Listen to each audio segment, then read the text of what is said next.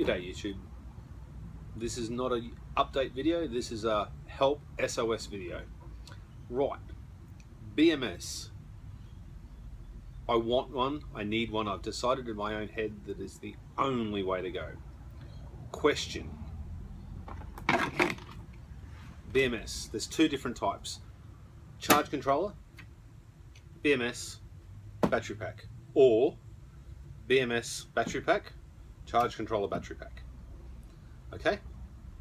How I understand it.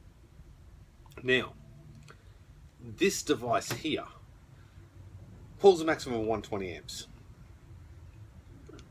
But if it's not going through this device, that's not going to matter, right? Answer below. But having this is a 250 amp charge controller which is not really. Right. Do okay, cut to the chase. Question is, get rid of that because it's shit. Do I need this charges at 60 amps? So does that mean I only need a 30 amp and a 30 amp on this? And bearing in mind I'm gonna get I've already got access to a lot more cells, I'm gonna actually do another two. So I should only need a 30 amp and a 30 amp on this because that only charges at 60 amps.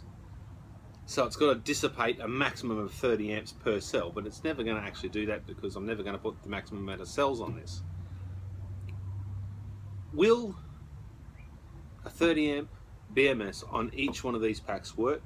Or should I double them up, so have a 60 amp on each one just to give me some leeway so they're only working at 50% capacity? Or should I just leave it at 30 amps and then once I get another two more it's going to be 30 amps and 30 amps which means it's going to be fine help me understand. Is that the right way of thinking? Please let me know. I should give you a little update. I don't know what I can give you without giving too much away. But I'm kind of excited with the progress that's being made. Stay tuned.